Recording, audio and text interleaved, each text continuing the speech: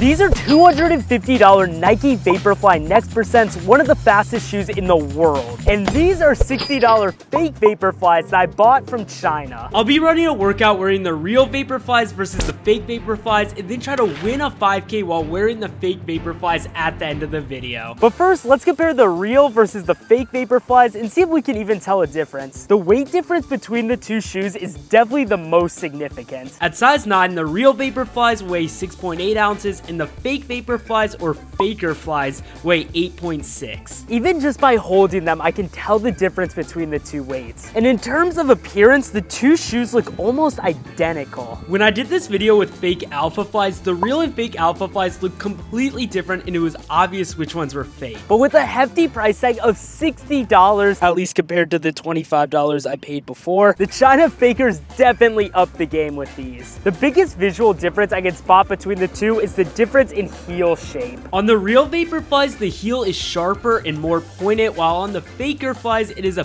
bit more rounded and dulled. The other major difference is the inside sole. The Vaporflies look well put together with a darker orange, while the fake Vaporfly sole has a neon hue and looks cheap. But besides those two differences, everything else looks pretty much the same. All of the tiny details match up, from the little Nike track patch to the logos on the tongue. At first glance, it is very, very difficult to tell which one is the real shoe and which one is the fake. All in all, these fakes look extremely similar to the real Vaporflies, and it's tough to tell a difference until you look up close. I even put out an Instagram poll, and only 59% of people knew which was the real Vaporfly. So the question is, can the Faker Flies match the real Vaporflies in a workout and truly make me faster?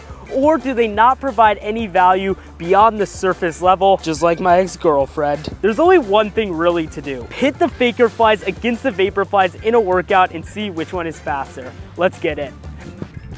And now we're at the track where I'm gonna be risking my physical health to finish a workout in the fake Vaporflies. The workout's gonna be four mile repeats two in the fake Vaporflies and two in the real Vaporflies. So with the goal of 540 a mile, I laced up the Vaporflies to get ready to run rep number one. We got the Vaporflies on, the real Vaporflies, feeling bouncy as always. I did this workout before in the Alpha Flies, felt so good, and then the fake Alpha Flies were impossible, literally impossible to hit 540 in. The real Vaporflies are a proven shoe. I should be able to run 540 relatively easily. Let's get it, baby. Rep one. Rep number one, baby.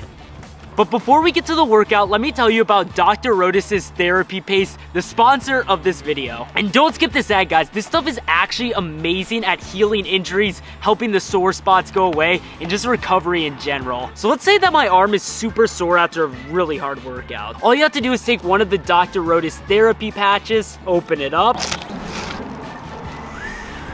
and that past workout, man, my tricep is on fire.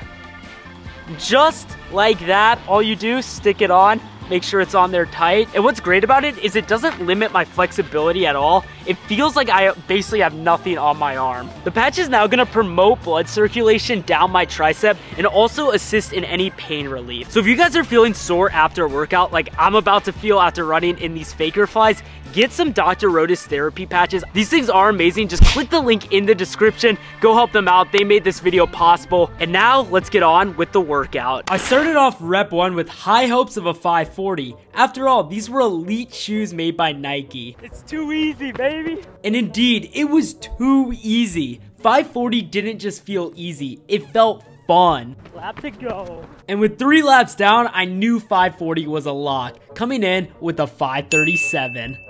Vaporflies are cracked, guys. Cracked. 537, I felt like I was walking the whole time. But now, the big test, I'm gonna put on the fake Vaporflies and then try to run another 540 and see how much more difficult it is. I was scared as I laced up the faker flies, but a dog's gotta eat. The fake vapor flies have been applied. I think a 540 is gonna be difficult, but I think it's doable. Rep two, fake vapor flies. The last time I ran in fake shoes, it was impossible to even break six minutes in a mile. But as I counted off the laps in the faker flies, I realized 540 wasn't too hard and came through in 535. 535. $60, I ran as fast as in $250 shoes. My mind is blown. I definitely did feel like I was putting in more effort. Call it a one-off. We're about to put it back to the test, run another mile in Vaporflies, then another in the Faker Flies. Another 540 coming right up. Cooking, baby. As I began rep three in the real Vaporflies, I could instantly tell a difference between the two shoes. I was clipping off laps way ahead of pace and reached the mile mark before I knew it in a ridiculously easy 529. Some of you guys might call it bad pacing, but that was a 529. But now's the ultimate test. Final rep in the faker flies. Faker flies on for the last rep here, but you know what they say, last one, fast one. Rep four, baby, let's get it. The final mile in the fake vapor flies. Would I end up getting horribly injured? Not at all. Last one, fast one indeed, as I finish the Vaporfly workout in another 529. 529 last rep. I don't know, man.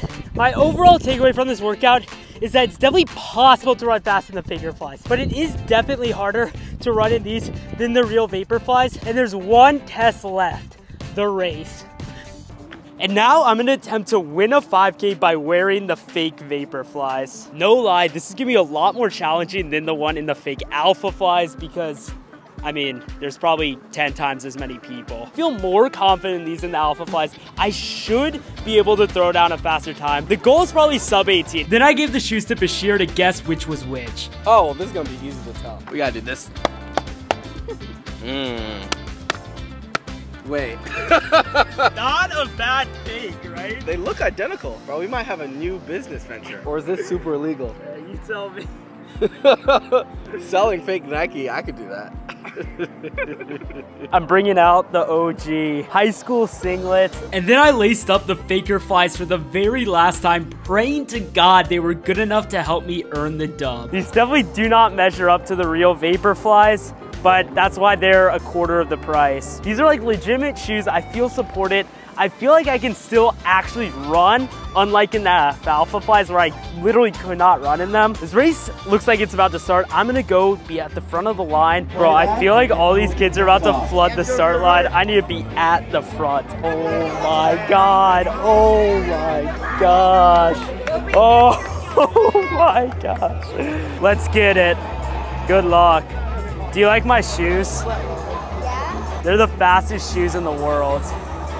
This competition right. looks steep. So all these children crowded the start line at the beginning. I was forced back, but I was still able to intimidate one last dude. I'm trying out the vapor flies. Uh, hey! This race was about to be chaos, but it was also about to start. Two, one, and they're off! The gun goes off, and there's more kids around me than a Roblox server. I'm eventually able to break free and assert myself at the very top of the race. Let's go, baby. Feeling good.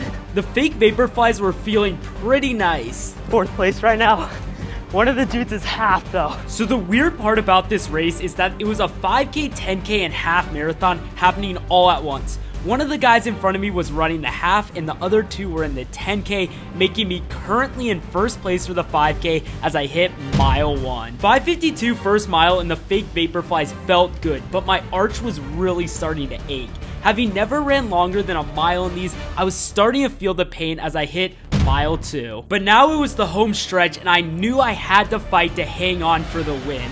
I didn't want to slow down and let someone pass me. The whole time I was thinking about how much easier this race would be with the real Vapor Flies, but honestly the Faker Flies were miles better than the Falfa Flies. At this point, my arch was screaming in protest, but I knew I had just a few minutes of pain left. All of a sudden, the finish line was in sight, and there was no one close to me, which allowed me to take the win in this 5K with a time of 18.14.